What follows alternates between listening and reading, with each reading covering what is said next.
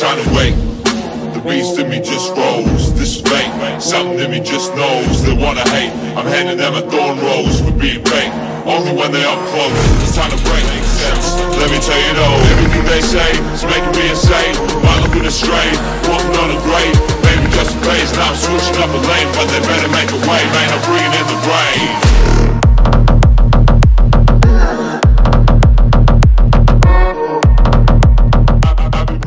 Доброго времени суток, дамы и господа, и сегодня у нас в обзоре BMW E46 третьей серии. То есть эта машина полностью переделана по внешке. По данной машине хочу сказать то, что хозяин ее покупала за 400 тысяч рублей, и вложения у него вышли в такую же сумму по стоимости цене автомобиля, то есть 4 сотни. В данном автомобиле был поставлен спортивный обвес MTech-2. То есть это специальная BMW-шная серия, оригинал, не копия.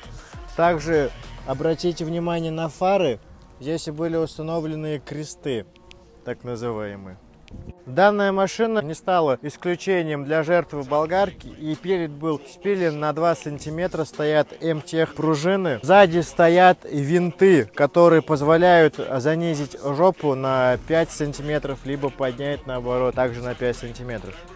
Задняя часть автомобиля не стала исключением для изменения, и хозяин поставил CSL спойлер, заменил обычные фонари на светодиодные, поставил спортбанку, выхлоп, приятный звук и туда-сюда. Теперь мы плавненько переходим в салон по старой схеме. Здесь мы увидим замененный руль.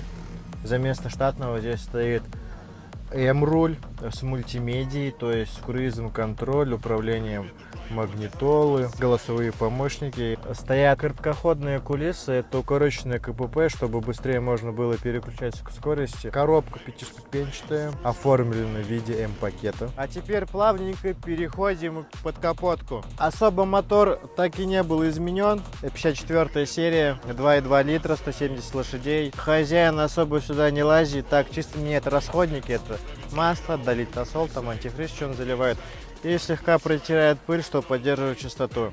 От 0 до 100 по заводу он разгоняется примерно за 9 секунд. Проблемы этого автомобиля, даже завод стаканы постоянно выбивал. Данный хозяин этого автомобиля исправил эту проблему тем, то, что он поставил вот эти распорники. И теперь стаканы стоят ровно, ничего с ними не происходит.